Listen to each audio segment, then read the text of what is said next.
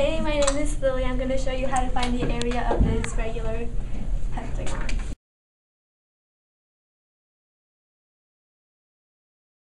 You need the formula A, which is area equals 1 half apothem times perimeter.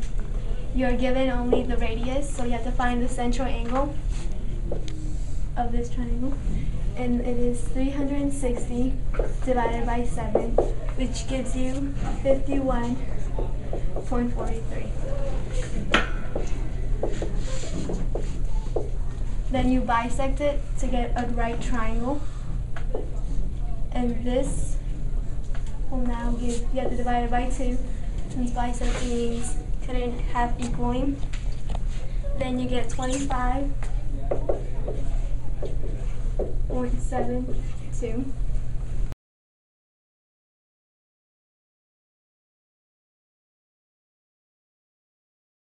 Now you're trying to find the apothem. You can use trig by using cosine of 25.72 equals x over 21.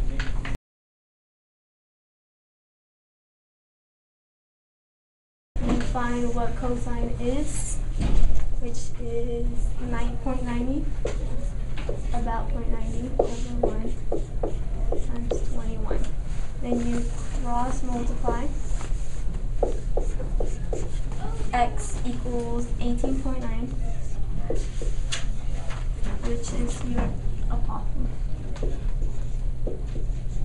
Now you can use Pythagorean theorem to find the missing side.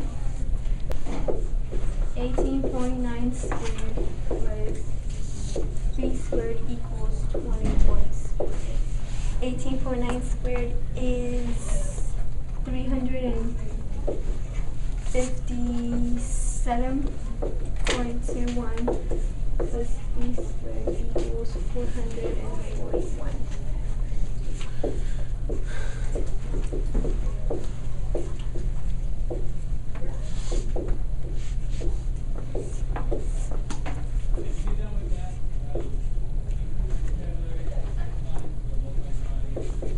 b squared equals twenty-four point two one.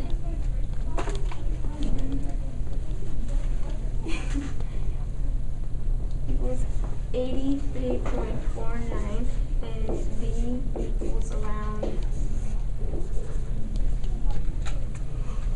nine point one five.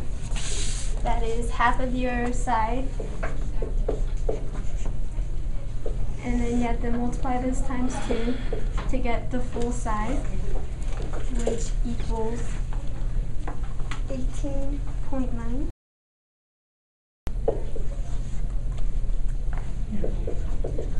And now you can plug all of this into your formula. A equals 1 half your apothem, which is 18.9 times the perimeter, find the perimeter. 18 times 9.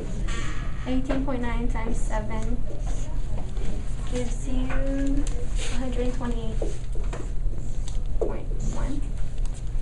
And you put this into formula. And this gives you 2421.9